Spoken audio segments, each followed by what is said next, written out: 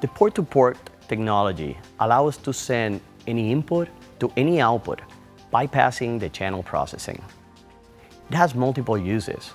For example, I can have a QL at the monitor mix position acting as an I.O. device, sending signal to the front of house console. Or I could use it with the MY Lake card, sending lake processing channels directly to the network. Or it could be as a format converter via the MY card slots.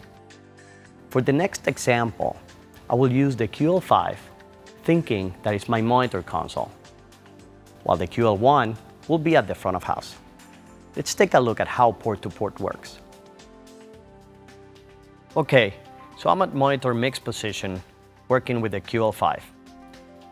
All the stage inputs are now patched to the analog input ports on the back.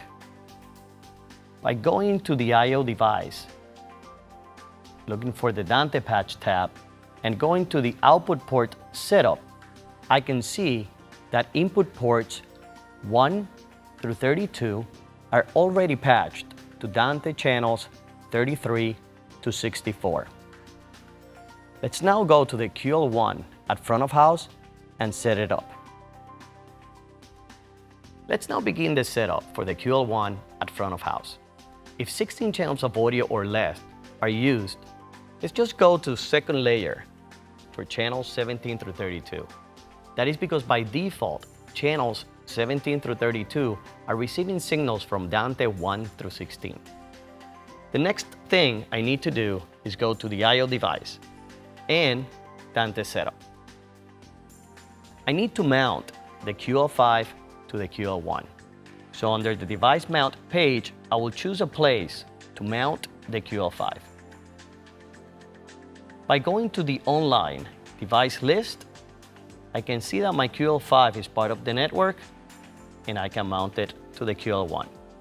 I will give the system a moment to recognize the QL5 on the network. Now that the QL5 is mounted to the QL1, I have the option of choosing if the QL1 is going to recall the mic pre's on the QL5. By going to the remote HA assign page, I can choose to make that change. Remember, by default, the QL1 does not recall the head amp settings from the QL5.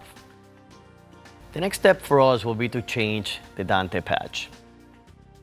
By going into the Dante input patch, I now have my 32 channels of Dante coming into the QL1. I will patch Dante number 1 to receive signal from the QL5. I will look for my QL5 and I will choose Dante channel 33.